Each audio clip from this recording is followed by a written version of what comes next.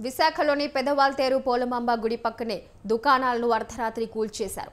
అధికారులు ఎటువంటి నోటీసులు ఇవ్వకుండా కూల్చేశారని బాధితులు ఆవేదన వ్యక్తం చేశారు. ఈ ఘటనపై టీడీపీ జనసేన నేతలు ఖండించారు. తమకు చెందిన స్థలంలో బలవంతంగా ఎలా కూల్చివేతలు చేపడతారని బాధితులు ప్రశ్నించారు. న్యాయ పోరాటం చేసైనా తమ స్థలాన్ని దక్కించుకుంటామన్నారు బాధితులు.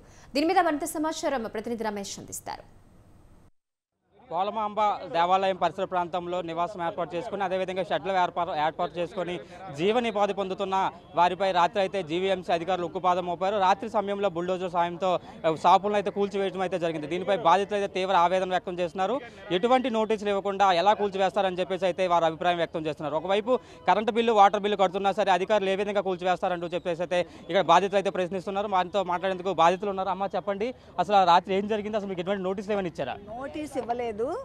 రాత్రి సడన్గా ఫోన్లు వచ్చాయి. చాలా ఫోన్లు మోగుతుంటే మంచి నిద్రలో ఉన్నాను. నేను లేచిపోయాను. ఏంటి ఇవి ఇన్ని ఫోన్లు వస్తున్నాయి? పిల్లలకి ఎవరికైనా బాగాలేదేమో అని గబుక్కు నేను లేచాను. లేచేసరికి సిబిఐ నుంచి ఫోన్ వస్తుంది అని ఇక్కడ ఉన్న వాళ్ళు చేస్తుంటే ఏంటి ఎలా ఉంటుంది రాత్రి అసలు చెప్పండి. నాకా హార్ట్ పేషెంట్ నేను సడన్గా ఫోన్ వచ్చేసరికి ఒళ్ళంతా వణుకు వణుకొచ్చేసి చెమటలు వచ్చేసి ఇప్పుడు రా అంటే నేను ఇప్పుడు రాలేను పిల్లలు లేపితే ఇప్పుడు వాళ్ళు వచ్చారు. నేను రాలేకపోయాను. ఇది ఎలా ఉందంటే అసలు నేను వర్ణించలేను దీన్ని. ఇలా అటాక్ ఇది ఇది ఎలా చెప్పాలో సడన్గా వచ్చి ఎవరే ఇలాగ అటాక్ ఇస్తారు? వస్తున్నామని చెప్తారు. కొన్ని దొంగోడు అంటే వస్తున్నామని చెప్పడం అనుకోండి. ఇది ప్రజల కోసం చేసిన ప్రభుత్వం. ప్రజలను పరిపాలించాలి మంచిగాను. అలా కాకుండా వాళ్ళని ఒక్కొక్కరిని ఇలాగా నాశనం చేస్తుంటే ఇంక ఏ ప్రజలు మిగులుతారు ఇక్కడ? ప్రజలకు ప్రజలను బ్రతికించాలి కదా. ప్రజలందరినీ ఇలాగా నాశనం చేస్తుంటే ఇంకెవరు ఇంకెవరు ప్రజలు ఉంటారు ఈ ప్రభుత్వంలో చాలా బాధ అనిపించింది మరి ఎర్లీ మార్నింగ్ వరకు ఎలా ఉన్నామో తెలియదు మార్నింగ్ లేచి ఇంకా రావాలనుకునేటప్పటికి ఈ ప్రిపేర్ అయ్యి ఇంతవరకు ఇప్పుడు ఇప్పుడు రావడం జరిగింది. ఇది చాలా అన్యాయం. మా నాన్నగారు ఒక సెవెంటీ ఇయర్స్ పైనుంచి ఉంటున్నారు. నాన్నగారు ఇవి- ఈ ఈ ఏయు పుట్టడమే నాన్న నాన్న ఇక్కడ రావడం అంట. మీరు చెప్పండి స్థానిక నాయకులుగా ఉన్నారు. అర్ధరాత్రి సమయంలో ఇల్లు కూర్చొని ఏ విధంగా చూడొచ్చు అంటారు? వైఎస్ఆర్ కాంగ్రెస్ పార్టీ అధికారంలోకి వచ్చినప్పటి నుంచి కూడా విశాఖపట్నం రాజధాని అంటున్నారు కానీ విశాఖపట్నంలో కూల్చివేతల పర్వం. అర్ధరాత్రి వస్తే చాలు.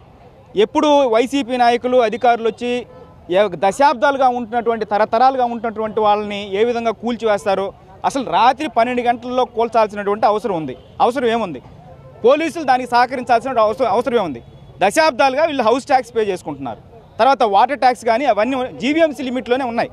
అయినప్పటికీ కూడా ఎటువంటి నోటీసు లేకుండా కూల్చివేయటం అనేది చాలా దుర్మార్గం. ఇది కేవలం విజయసాయిరెడ్డి ఈ యొక్క విశాఖపట్నం వాసులపైన కుట్రతోని చేస్తున్నాడు. దానికి Prasad Reddy సహకరిస్తున్నాడు.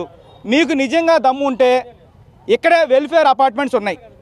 Welfare apartments Andhra university భూముల్లోనే వెల్ఫేర్ అపార్ట్మెంట్స్ ఉన్నాయి. విజయసాయి రెడ్డికి సవాల్ విసురుతాం. మీకు దమ్ము ధైర్యం ఉంటే వెల్ఫేర్ అపార్ట్మెంట్స్ కూల్చే దమ్ము ధైర్యం ఉందా? అవి ఆంధ్ర యూనివర్సిటీ పరిధిలోనే ఉన్నాయి. పేదలపైన మీకు ఎందుకు కక్ష? దీనిపైన మేము తెలుగుదేశం పార్టీ తరఫున తీవ్రంగా ఖండిస్తున్నాం. మరొక విషయం ఏమిటంటే రెండు వేల ఎనిమిది పదకొండులో ప్రసాద్ రెడ్డి రిజిస్ట్రార్గా వ్యవహరించాడు. ఆ టైంలోనే సుప్రీంకోర్టు డిగ్రీ వచ్చింది. అంటే ఆ టైంలో నువ్వు ఎవరైతే బాధితులు ఉన్నారో బాధితులకు సహకరించావు. డాక్యుమెంట్లు లేవు. అప్పుడు ఇప్పుడు అప్పుడు లేని డాక్యుమెంట్లు ఇప్పుడు ఎలాగ వచ్చినాయి?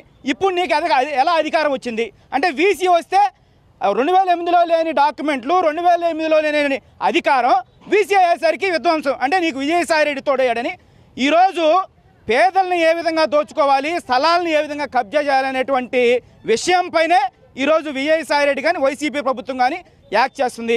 దీన్ని చాలా తీవ్రంగా ఖండిస్తున్నాం. ఈ పరిస్థితి ఏదైతే నిన్న అర్ధరాత్రి సమయంలో ఏదైతే ఇక్కడ ఉన్న సెట్లతో పాటు ఇల్లు కూర్చోని తీవ్రంగా వ్యతిరేకిస్తున్నామని చెప్పేసి అయితే టీడీపీ నాయకులు అంటున్నారు. మరోవైపు బాధితులు కూడా ఈ విషయంపై న్యాయస్థానం ఆశ్రయిస్తామని చెప్పేసి అయితే గట్టిగా తెలియజేస్తున్నారు. మరోవైపు ఏంటంటే పేద వైసీపీ ప్రభుత్వం పేదలు పొట్టగొట్టే విధంగా వ్యవహరిస్తుందని చెప్పేసి టీడీపీ నాయకులు అయితే తీవ్ర స్థాయిలో మండిపడుతున్నారు. వీడియో జర్నలిస్ట్ మూర్తితో రమేష్ స్వతంత్ర న్యూస్ విశాఖపట్నం.